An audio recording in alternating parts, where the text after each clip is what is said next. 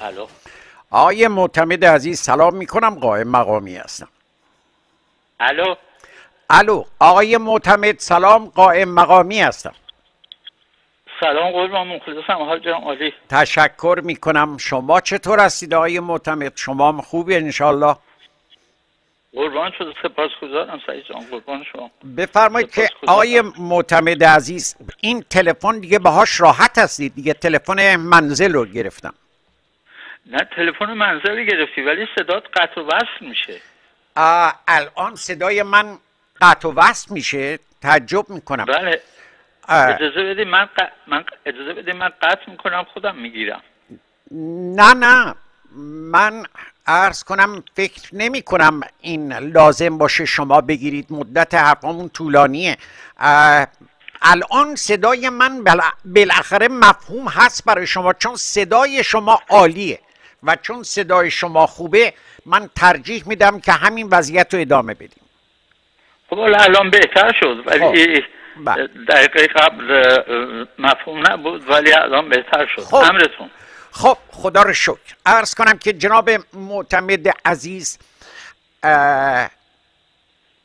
ما به طور کلی در چهار جلسه گفتگومون پی بردیم. که جناب عالی که در سال 1300 و ارز کنم پن... اه، 1338 خورشیدی به استخدام سازمان اطلاعات و امنیت کشور در آمدید بعدا در کمیته مشترک ضد خرابکاری حضور پیدا کردید و یکی از اعضای برجسته این کمیته بودید و در ارتباط با وظایفی که داشتید از مسائل گوناگونی یادها و خاطره هایی دارید که انشالله با طرح این مسائل و یادآوری این مسائل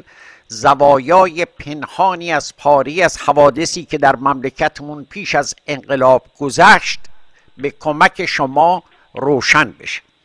من الان فکر می کنم به دنبال این چهار جلسه گوناگون چهار جلسه گفتگوهای گوناگون ارجح اینه که شما خودتون یکی از موضوعاتی رو که به نظرتون مهم است و قابل طرح در این گفتگوهاست رو انتخاب بفرمایید و توضیح بفرمایید و ما سراپا گوش هستیم. آقای مقامی.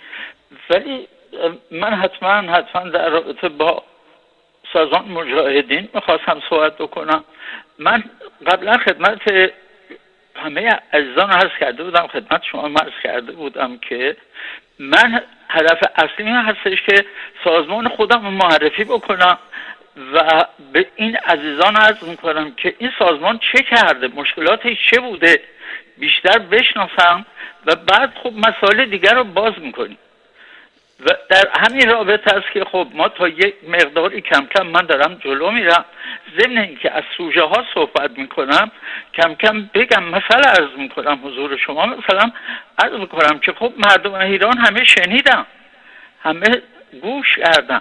توجه کردن که مثلا شایعه ای کردن در رابطه با مرحوم آیت الله طالقانی که آقا پشت اینا ساواک مثلا سوزونده مثلا نمونه خدمت شما عرض بله بله. خیلی خوب. ما از این نوع مسائل ما زیاد داشتیم. بنابراین من ضمن این که این مسائل رو امش- ام- امروز امشب حالا حال روز شما ها من یه سه نمونه از این مسائل صحبت می‌کنم. بعد راجع سازمان مجاهدین من امروز خاتمه میدم. ولی قبل از این مسائل من خیلی خیلی مایل هستم که صحبت های شما رو در رابطه با این شیش هزار صفحه این جریانات جمهوری خواه شنیدم. ولی خیلی مایل هستم درخواست می‌کنم. البته حتما من صحبت های خودم خواهم کرد.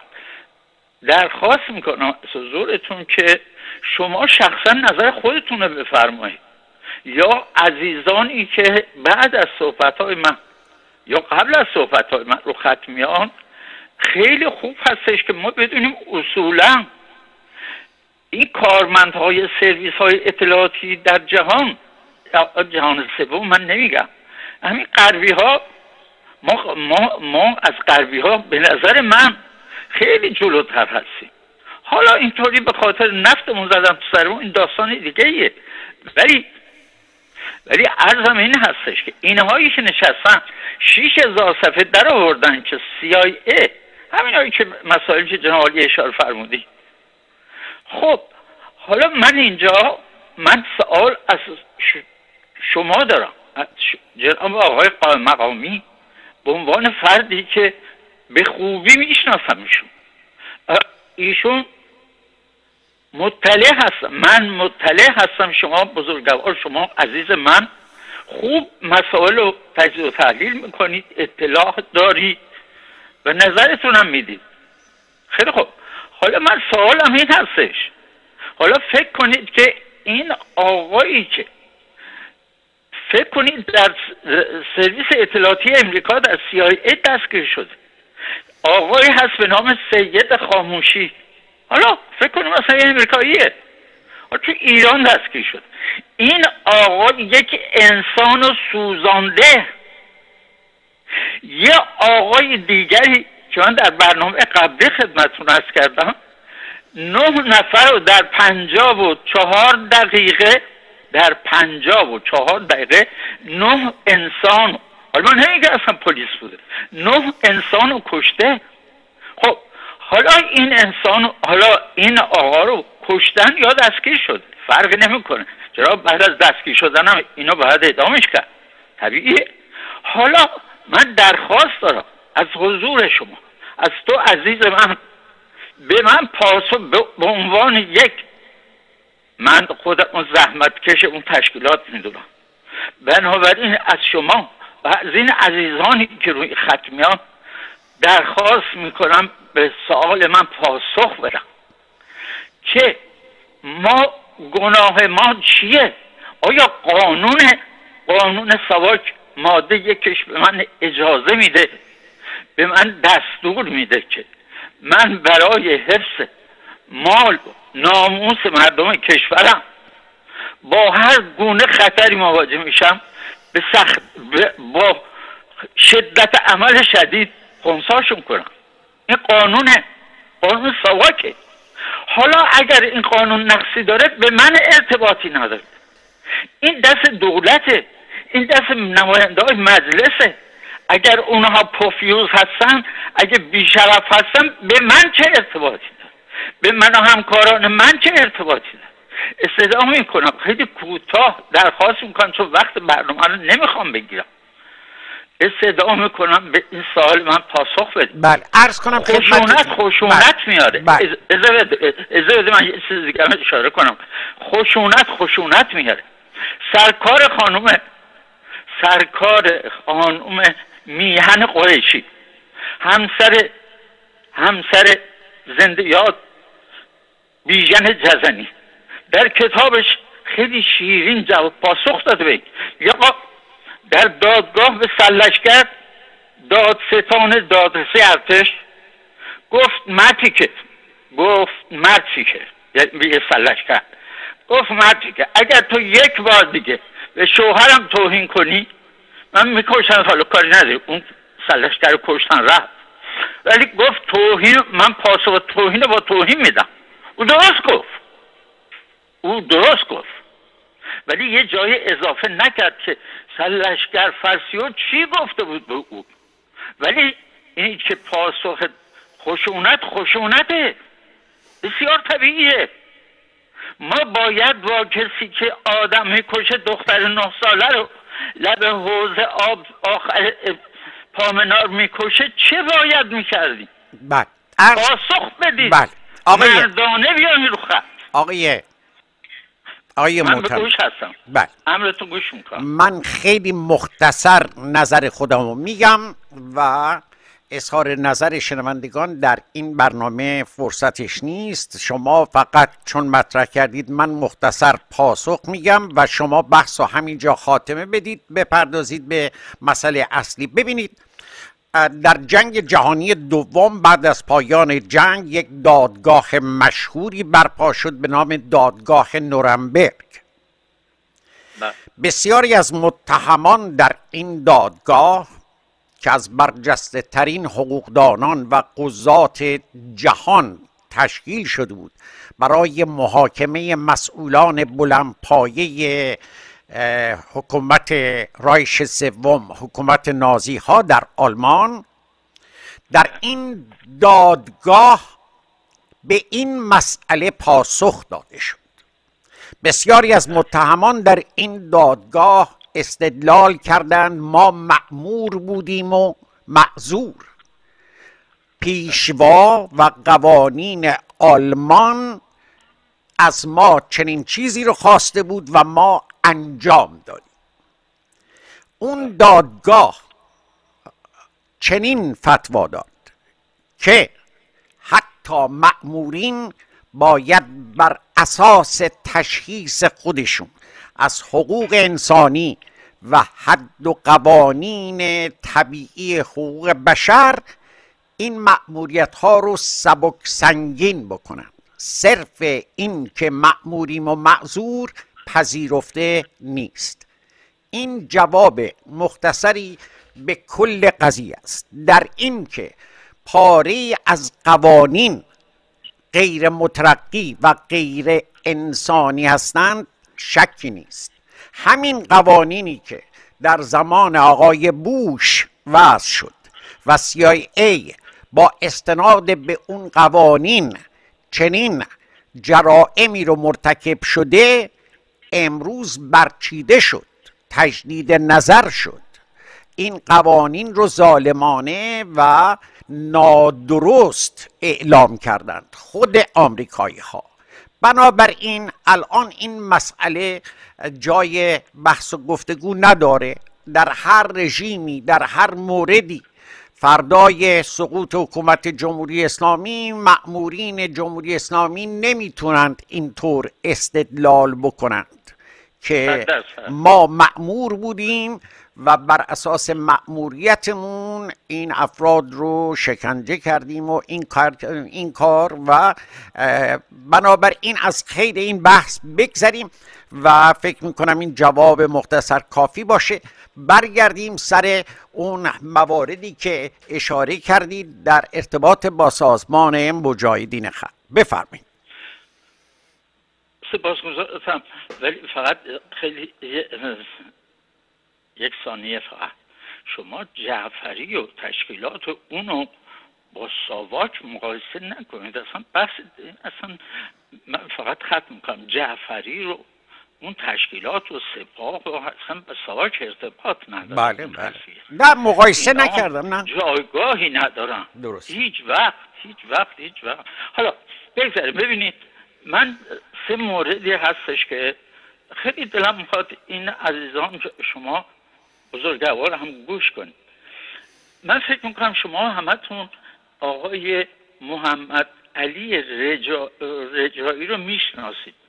این آقا در گذشته ها یعنی زمانی که به هر حال ما بودیم این در در نارمک به یاد دارم در نارمک دفتردار یک مدرسه بود. آقای رجایی که بعدا نخست وزیر شد در نظام جمهوری اسلامی. نمی‌دونم اتفاقا من نمی‌دونم. نخست وزیر شد یا رئیس جمهور شد؟ نمی‌دونم. فکر رئیس جمهور شد. حالا فرقی نمی‌کنه. بله حالا مهم نیست. بله. بله. بله. حالا ملاحظه بکنید اینو داشته باشه اینجا. حضورتون ارز کنم که وحید افراخته رو من خدمتتون عرض کردم که این رئیس شاخه نظامی سازمان مجاهدین خلق. حالا وقتی که این دستگیر میشه در خاطراتش اشاره به منزل محمد علی رجایی می‌کنه. اون موردی که اشاره می‌کنه مورد این بودش که بهرام آرام بهرام آرام سرپرست در اون مقطع سرپرست سازمان مجاهدین خلق چه توسط مامورین در تیراندازی و فلان و فلان کشته میشه. وحید میگه که بهرام به من گفتش که من خونه با اسم مستعار که البته منظورش رجایی هست. میگه که بهرام به من گفته که من خونه فلانی یک اتاق استراری دارم. یک اتاق استراری دارم. یعنی اگر جایی پیدا نکرد اگر در درگیری تو خونه تیمی یا جایی سر قراری مشکلاتی پیش اومد همه خونه ها لو رفت. اینجا این خونه فقط خودش می‌دونست. حتی رئیس شاخ نظامی هم از این خونه اطلاع نداشت. ولی اینا همینطوری گفته بوده به چی؟ این در پرونده اینو فاش کرده بود این جریان گذشت گذشت گذشت تا اینکه این ما از این جریان خارج شدیم. یعنی انقلاب شد مسئله اینها اومدن تو کار. اینها اولا کاری که کردن هر کس اومد تو ساواک رفت و پرونده خودش کشید بیرون. این این مسئله گزارش رو پرونده چیز بوده. یه نسخهش هم خورده بود روی پرونده محمد علی رجایی. یعنی ایشون یک رابطه ای با همسر آقای محمد علی رجایی یعنی آقای چیز آقای بهرام آرام. متوجه هست یعنی اینو بهرام آرام به چیز گفته بوده. البته این چیزای کارهای کثیفیه که صفها مورد از اینا در بوده هیچ و این خط قرمز ما بوده. هیچ هم فاش نشده. ولی حالا ببینید تا آخر این جریان به کجا می‌رسه که من مجبورم امروز امروز فاش کنم. و خون برسونم که بنابراین بهرام آرام به چیز گفته بوده داستانش که ماجرا چی هستش که در نبود آقای محمد علی رجایی یه رابطه بین این ماجرا بوده با همسرشون حالا یک یک نسخه از گزارش از گزارشی خورده رو پرونده محمد علی رجا وقتی به چیز میشه وقتی که به پروندهش دسترسی پیدا می‌کنه این گزارش رو می‌بینه. وقتی این گزارش رو می‌بینه به حال موردی پیش میاد ایشون تشریف می‌برن. به چیز؟ خیلی خوب. ما که در جریان بودیم. ولی خب ما هرگز هرگز هرگز مسائل شخصی سوژه هامون از محالات بود که باز بکنیم. و هرگز باز نخواهیم کرد. شاید بیش از صدها نمونه از این مسائل بوده. ولی هرگز. حالا چرا اینو باز می‌کنم؟ دلیلش رو الان خدمتتون عرض می‌کنم. این آقا وقتی که رئیس جمهور میشه برای اینکه این میره سازمان ملل. وقتی که به سازمان رفت اون پای کسافتشو در آورد گذاشت رو میز جورابش هم در آورد در سازمان ملل. و گفت این جنایات ساواکه. یعنی منو شکنجه کردن این نامرد روزگار نگفت که نگفت که داستان من چی بوده داستان بهرام آرام چی بوده داستان وحید افراخته چی بوده و به خاطر اینکه این اسرارش فاش نشه این داستان برای ما ساخت که من شکنجه شدم. اصلا قابل شکنجه و چه می‌دونم خشونت نبوده. اون کاری به اون شکل نکرده بوده که. اون در حد یک سمپات بوده در اون زمانی که دستگیر شده. این دنبالیچه بازرگان بوده؟ از اون کانال اومده بوده ود شده اونها در حد یک سمپات. حالا مورد دوم خدمتتون عرض می‌کنم. من اگر به یادتون باشه به شما عرض کردم که من سر مسئله خانم اعظم علایی طالقانی استفاده دادم. من جلسه دوم یا سوم من اینو خدمتون هست کردم. من درگیر شدم با رئیس گروه اطلاعات. آقای من معتمد معتقد بودم که آقای معتمد بله. ببخشید. این داستان رجایی تمام شد؟ یعنی این صداتون قطع میشه. عرض کردم این داستان رجایی تمام شد؟ یا یعنی بله بله یه نمونه ای برای خراب کردن ساواک نه نه نه. بله. من سوالم اینه. آیا بله. کف پای رجایی علامتی بود؟ این علامت ناشی از چی بود؟ یعنی اینو بر... دارم عرض می‌کنم. این نماینده هایی که نشستن اتفاقا صحنه رو نشون داد. این نماینده ای که نشسته حداقل یه 25 متر فاصله داره. اصلا کسی هم اصلا اهمیت نداره به اون صورت و قیافه کثیفش. اصلا کسی بلند نشد. آه فهمیدم. اون بالا نشسته بود. شما من نمی‌دونم شما برید رو آرشیو سازمان ملل توجه خواهید کرد. بله. صحنه رو. نه نه می‌دونم. شما من وقتی توضیح دادم حضورت ببین سعید جان من وقتی حضور توضیح دادم که این در حد یک سمپات بود. هستی؟ این اصلا هم به قول چه می‌دونم ما پایین شهری اصلا رقمی نبود تو این کارها بله. برای بله، چی. برای چی شما خشونت کرده با... چه خشونتی نسبت بهش انجام شده باشه؟ چه خشونت کرده باشه؟ این یک ضعفی داشت. می‌خواست به یه شکلی الان من مورد دوم خدمتتون عرض می‌کنم شما متوجه الزمه خواهید شد. خانم اعظم طلاقانی اون تموم شد. دو, دو تا دیگه مونده. خانم اعظم طلاقانی من مخالفت کردم با دستگیری ایشون. درگیر شدم رئیس گروه استعفا نوشتم دادم.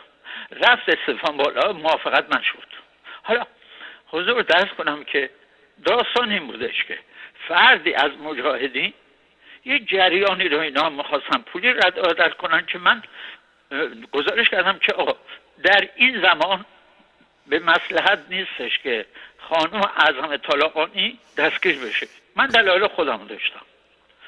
حضور فرض کنم که بعد موافقت شد که ایشون دستگیر نشه. خیلی.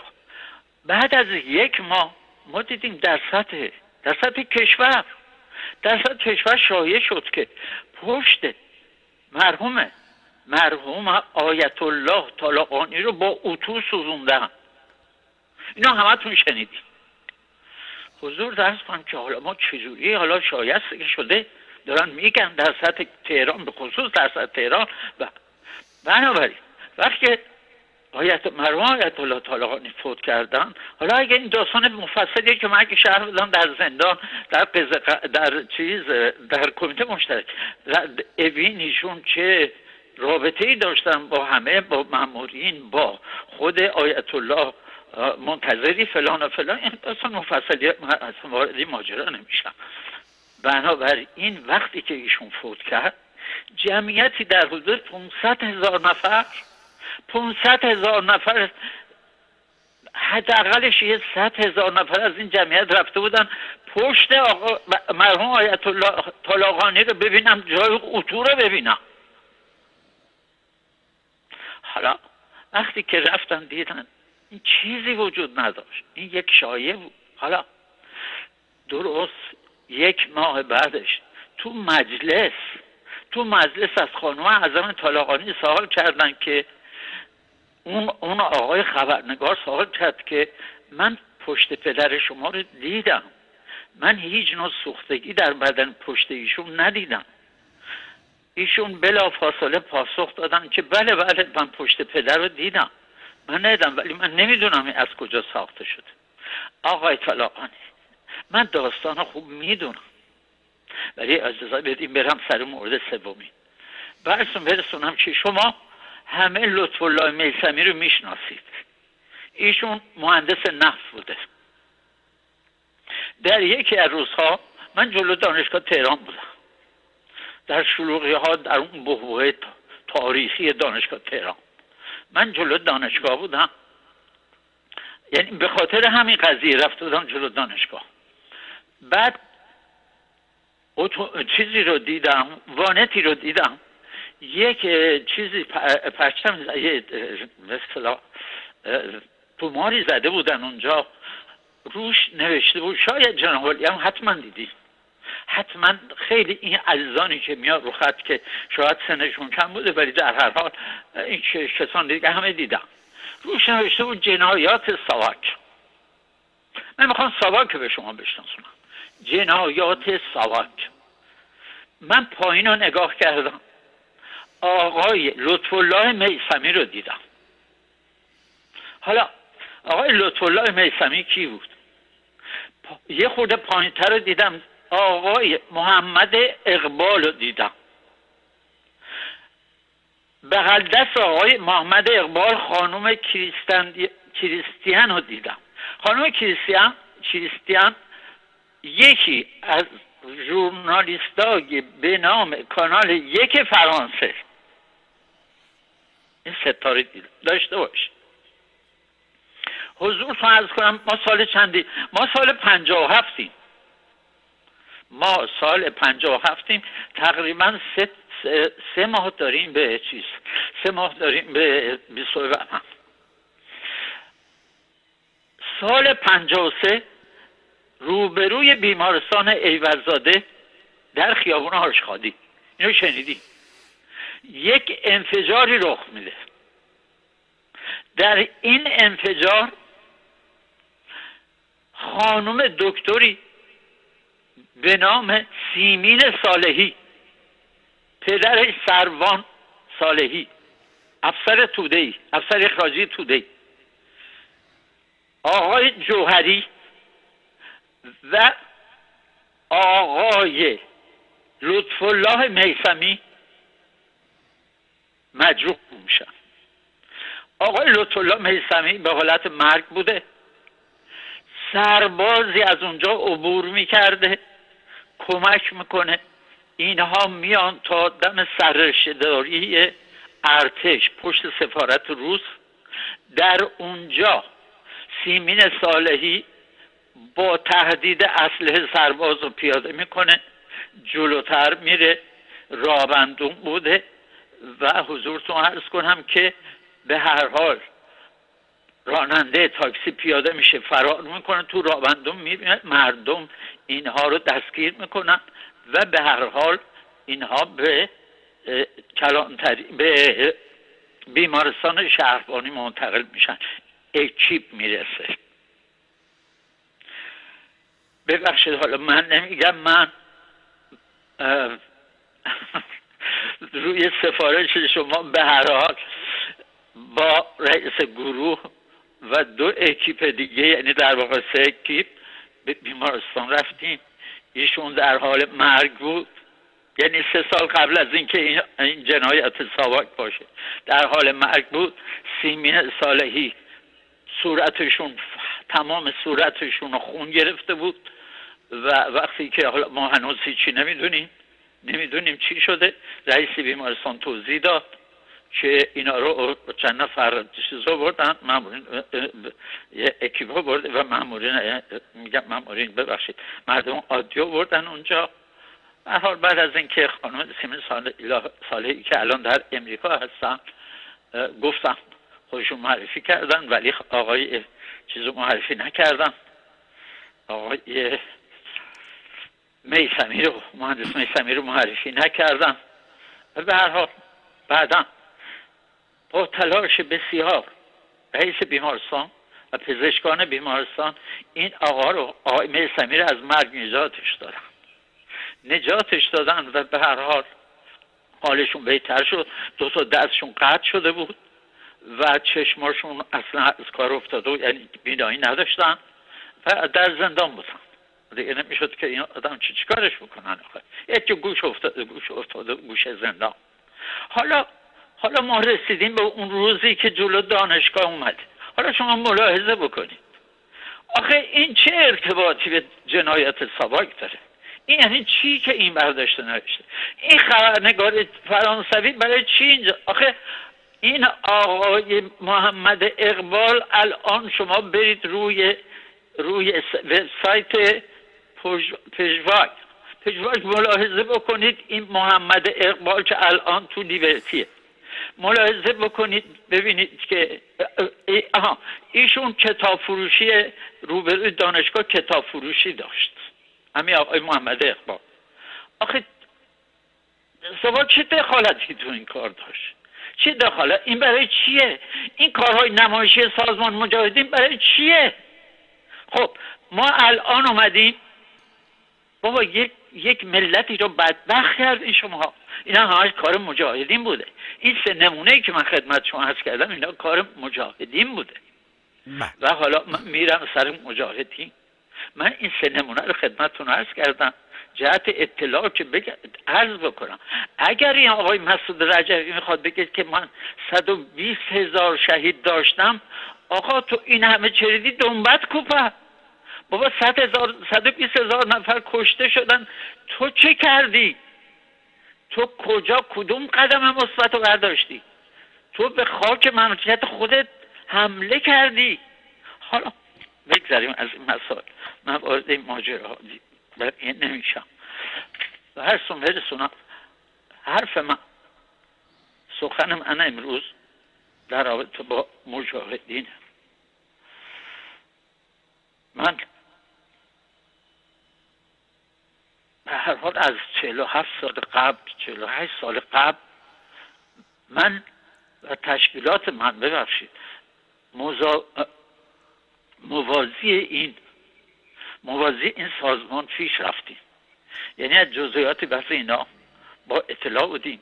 تا همون روزهایی که آمدیم ایران در خارج از کشورم من در گذر از دو سه مصاحبه قبلی عرض کردم.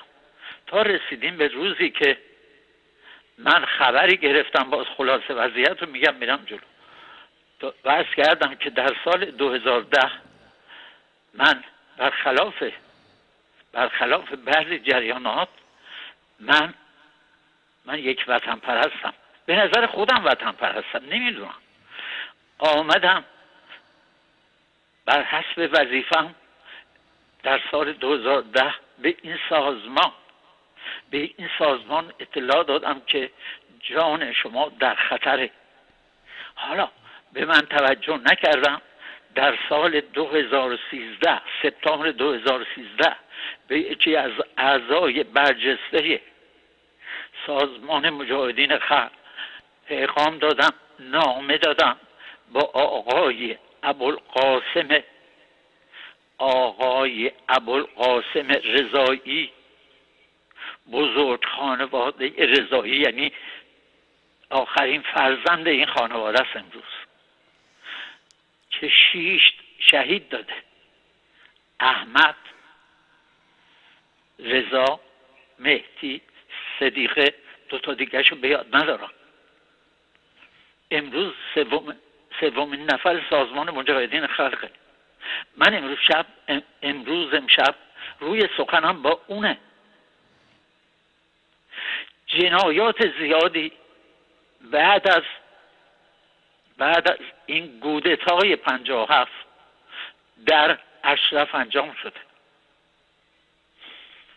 از سال پنجاه و پنج تا به الان جنایات بسیار شده ما خانه به خانه با هم جنگیدیم. از سال پنجاه و هفت به بعدم اینها با جنایاتی کردن. این اجازه بدین من منو ببخشید. اگر میدم این بیناموس ها این پوفیوز ها منظورم جمهوری اسلامی راه مبارزه با اینها این نیست که اینها میکن یعنی مجاهدین خلق میکن اینها برای بقای خودشون دارن. اینها شیش نفر ملاحظه بکنی شما. شیش نفر امریکایی رو کشتن. یعنی سال دو آغاز کردن.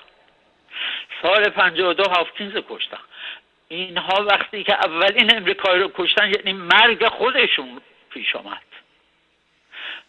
سازمان مجاهدین در اون روز تمام شد. حالا دارن روز به روز مهمان دعوت می‌کنن. همینا که امروز همین شیش هزار سفر رو بازنشسته های همین خانواده که این شیش هزار سفر رو نوشتن. اینها در اشتباه کامل هستن امریکایی ها. افسوس. واقعا هزار افسوس. وقتی که آقای پارسی همتون شنیدین صداشو. آقای پارسی رو از پذیرا هستن.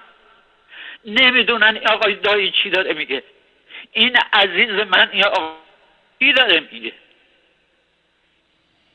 بنابراین اینها متوجه نیستن. خود امریکاییاش متوجه نیستن. حالا من روی سخنم با آقای ابوالقاسم رضایی. آقای ابوالقاسم رضایی. عزیز من من مادر گرامی تو دیدم در تلویزیون. من دوست پدر تو بودم. من در دو جلسه قبل گفتم به شما. پدر تو به من کمک کرد من خونه خریدم.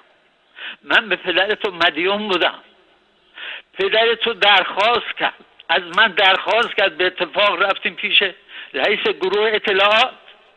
پدر تو درخواست کرد رضا رو آزاد نکنی. پدر تو به رئیس گروه اطلاعات گفت رضا اگر بره بیرون کشته میشه.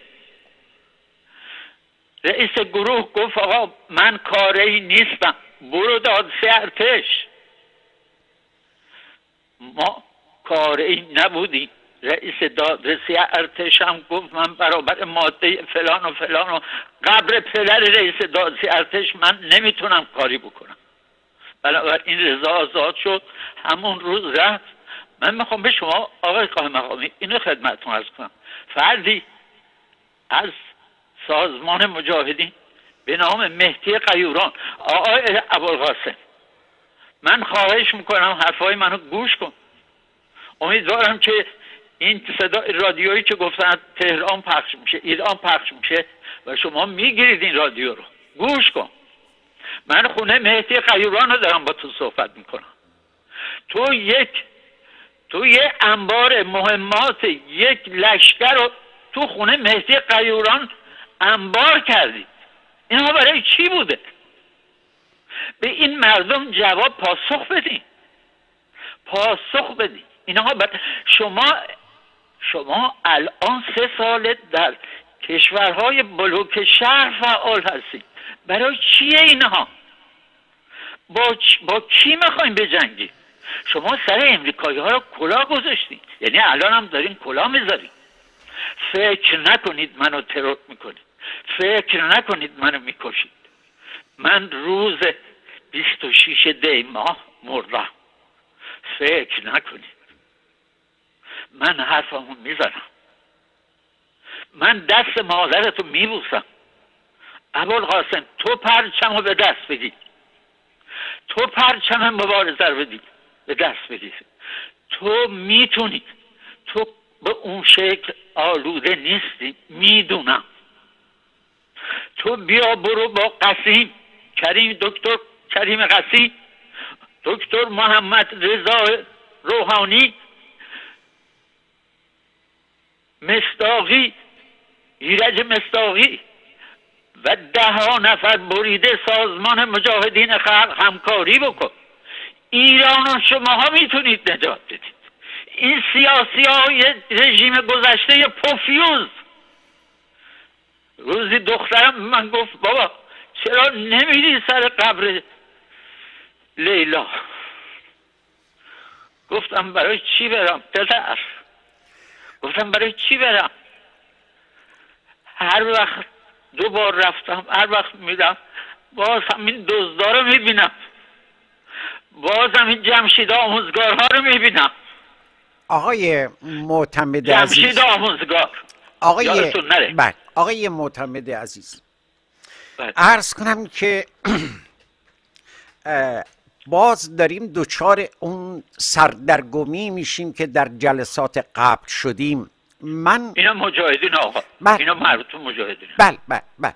ببینید به نظر من آنچه که امروز گوش کن آقا مهمی اینا راجع به مجاهدین ها حرفم امروز یعنی تا شاید مثلا پنج دقیقه تموم بشه متوجه هستم. بعد من در اختیار شما هستم سوالی جواب هر چی در اتون جواب پاسخ میدم. آقای پنج دقیقه شما. آقای معتمد. برادر من دعوت از شما برای شنیدن نظریات سیاسی شما در ارتباط با اینکه مجاهدین خوب است چه بکنند چه نکنند نیست. دعوت از شما شنیدن نظریات شما در مورد اپوزیسیون نمی‌دونم خارج از کشور در این روز و روزگار نیست. ما با این امید با شما گفتگو را آغاز کردیم که جنابالی در مورد ابهامات پیش از وقوع انقلاب در مورد دستن در کاران این انقلاب در مورد این سازمان ها در مورد حزب توده در مورد مذهبی ها در مورد چپ ها در مورد فدایان خلق در مورد مجاهدین خلق در مورد قتل ها جنایت ها تعقیب ها دستگیری ها زد و بند ها ترور ها جنابالی چون در عرصه عملیات بودید اینها رو اگر برای نسل کنونی وطنمون تشریح کنید بیشتر سوداوره تا اینکه شما بفرمایید الان مجاهدین سرگرم خدمت هستند یا خیانت هستند. چون در حال حاضر مسئله ما مسئله بررسی گذشته هایی است که از اون بخش های عمده ای از جامعه بیخبرند. همون مسئله ای که خود جنابالی اشاره کردید که آیا واقعا عملکرد ساواک چگونه عمل کردی بود؟ آیا خیانت بود؟ آیا خدمت بود؟ آیا شکست بود؟ آیا پیروزی بود؟ ندانم کاری بود اینها نکات مورد نظر ما در این گفتگو هاست. و من استدعام اینه از پنجا هفت به این سو رو فعلا رها بفرمایید و بیایید به مسائلی که خودتون بهشون اشاره کردید و از روشون شتاب زده گذشتید بپردازید. مثلا برای من این سوال باقی مونده. یعنی این سوال همیشه بوده. این سازمان مجاهدین خلق رهبریش چه زمانی شکل گرفت و در این رهبری چه کسانی بودند و چه سرنوشتی داشتند و برخورد شما ساواک و کمیته مشترک و شخص خود شما با این آقایون چی بوده؟ یا جبهه ملی آقای سنجابی آقای بازرگان اینها چه کردند شما با اینها چه رابطه ای داشتید چرا میگید سنجابی خیانتکار بود؟ چه پرونده ای داشت؟ چه خیانتی مرتکب شد؟ نقش تودهی ها در این جریان چه بود؟ چه رابطه ای تودهی ها داشتند در این ماجرا؟ اینها نکاتی است که مورد نظر ماست. در این موارد بیایید با هم صحبت بکنیم.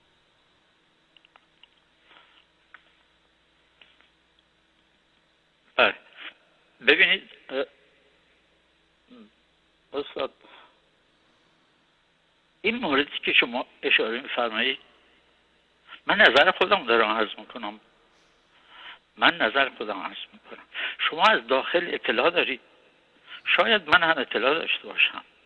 اون چیزی که اون چیزی که من تجربه کردم اون چیزی که من اطلاع دارم و به نظر من در اولویت کار ایران قرار داره اون ما چه راه حلی داریم چه کار می‌تونیم بکنیم به مردم داخل کمک بکنیم که بریم و بتونیم مملکتمون و مردممون رو نجات بدیم.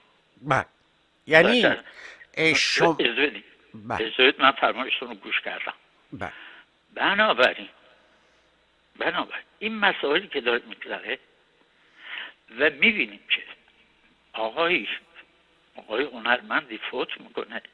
مردم بدون هدف ولی یه انگیزه داره میان تو خیابون ولی رهبری نیست کسی نیستش که اینا رو هدایت بکنه. ببین شما 17 شهریور رو به یاد دارید. کاملا به یاد دارید شما. شاید نپذیرید که. خب در صحنه بودیم من بله تو صحنه بودم 17 شهریور ولی توی صحنه ای که من بودم چریک فدایی بوده مجاهدم بوده. یعنی ده تا 15 تا اونا بودن. تا 15 تا ما بودیم. خیلی خوب. حالا گرداننده اون جمعیت یه چیزی در حدود سه هزار نفر. این ده پونزده نفر بودم بنابراین من خطر رو حس می‌کنم. شما این موردی که الان اشاره میفرمایید این مال زمانی هستش که. مملکت ما. شما بشید امیدوارم و آرزو می‌کنم. شما جای مردکی به نام قطبی رو بگیرید. یا جعفریان رو بگیرید. جعفریان رو بگیرید. اونجا دستور بدید هیئت بیاد بشین از گذشته های مملکت بگید وگر نه الان بگم آقا حسن آقا این کار کرد. حسین آقا این کار اون الان مجاهدینه که خودشو داره آماده می‌کنه باز هم برم آش همون و کاسه همون. متوجه هم هستی؟ پس من من به عنوان عضو سازمان سازمان اطلاعات و امنیت کشور خیلی معذرت بخوام آقای قائم مقامی عزیز من اولویت ها رو می‌شناسم. من جسارت نمی کنم بگم نه شما درست میفرمایید. اون عزیز بزرگواری که گفتش این باید که شما باید یعنی من کتاب بنویسم درست گفتم. متوجه؟ ولی الان ما یک حالت اورژانس داریم در رابطه مملکتون. باور کن. باور کن. من بسیار خوشحال شدم که اشاره کردید. یک ساعت و نمی‌دونم چقدر دیگه. موج کوتاه در ایران صداش در میاد. این باعث خوشحالی منه. این باعث خوشحالی من همسال منه. و این صدای تو عزیز رو در ایران دارم گوش می‌کنم. وگر نه این سایت های فلان این دوستان عزیزان خیلی خوب. بذارید همه بیان رو خط. بنابراین این حالا من الان به خدمت شما عرض بکنم که مثلا بنده بغل کوچه فردوسی یه کوچه فروشگاه فردوسی کوچه هست. بغل فروشگاه فردوسی خیابان فردوسی کوچه هست. داخل اون کوچه تای اون کوچه دفتر مهندس بازرگان بود. بنده اولین باری که آقای محمد حنیف نژاد رهبر سازمان مجاهدین خلق رو تو دفتر آقای مهندس بازرگان اونجا دیدم. حالا بنده اگه بخوام تاریخچه اینو برای شما تعریف کنم فلان کنم آخه به چه کاره به چه کار فعالین امروزی می‌خوره؟ متوجه هم هستی؟ پس ما باید ببینیم اگر من دارم عرض می‌کنم به این آقای ابوالقاسم برای اینکه من یک شریکو خودم یک شریکو و امثال خودمو برزم می‌رسی چون ما به درستی آموخته ایم که چجوری می‌تونیم آدم های مثل جعفری رو از دراریم ما به درستی آموخته ایم درسته که از من و امثال من گذشته. ولی فرزندان ما که هستن. چهار هزار صده هفتاد دیگه خانواده سواک هست. یعنی اینا روش کردن که می‌دونن چیکار بکنن. متوجه هم هستی؟ بنابراین ما باید فکر داخل باشیم. من قبول می‌کنم فرمایش شما رو. ولی تا حدی به هر حال ما مشکلات رو مطرح می‌کنیم میگیم. ولی نظر منم این هسته. ولی من با نظر شما موافق نیستم. من میگم که راحل هایی پیدا بکنیم. خطا رو باز بکنیم. باز هم شنونده ها بیان رو خط بگم. بگم ولی دلیلش هم بگم. دلیلش هم بگم. حرف بزنم بگم. بگن فلانی من یعنی. فلانی یعنی من. فلانی تو غلط میگی تو اشتباه میگی به این دلیل به این دلیل. ما خط یعنی تو عزیز تو بزرگوار خط مشخص نکنی.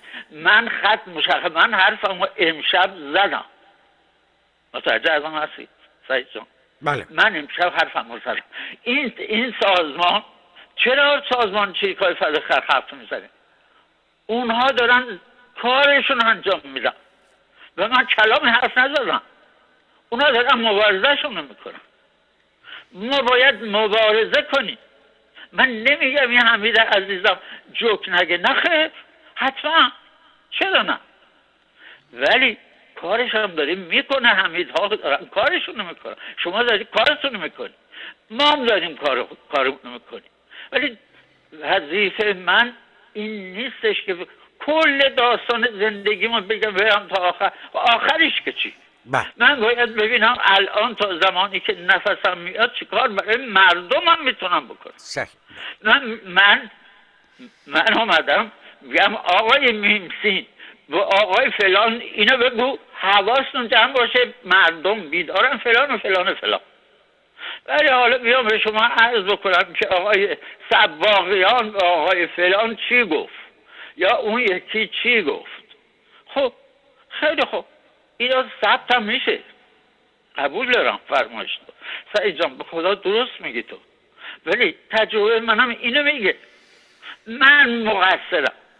به ایران ها قسم حرفاتو قبول می‌کنم. ولی زمانش الان نیست. بله. باور کن زمان. ببین من سه تا مورد برات اشاره کردم. بله. ببین میگن آقا پشت مرحوم آیت الله طالقانی رو ما سوزوندیم اه یا اون آقا میگه این جنایت سواکه پس بذار ما بگیم بابا ما این بودیم و این بودیم این بودیم بابا این امریکا میگه شیش هزار صفحه نوشتیم بابا می‌خواد چیزشو اگه خود نقص کار خودشو بپوشونه ببین سیاپوستا رو چجوری ریختن تو خیابون می‌خواد از خودشو بله مشکل خودشه داره مشکل داخلی خودشه حال من شرمنده من نمی‌دونم باید چیکار. شما هر دستوری بدی من انجام بله ارز کنم که دیگه روشنه که شما معتقدید که این گفتگوها در مورد این باید باشه که چه باید بکنیم مردم چه باید بکنن و در مورد وضعیت کنونی راهکارهای اه، مبارزه با جمهوری اسلامی رو بحث و گفتگو بکنیم که این البته الهی فراد بشن دقیقا. بله بله. دقیقا. متوجه شدم. استدا می‌کنم ازت. یعنی بله. این عزیزان این عزیزان این آقای مصداقی این آقای اینا رو بیاری رو خط. با بله. این عزیزان صحبت بکنی. بله، اینا. صاحب نظر هستن سعید جان. بله. اینها کسانی هستن که عمرشون تو این کارها بود. من کی هستم؟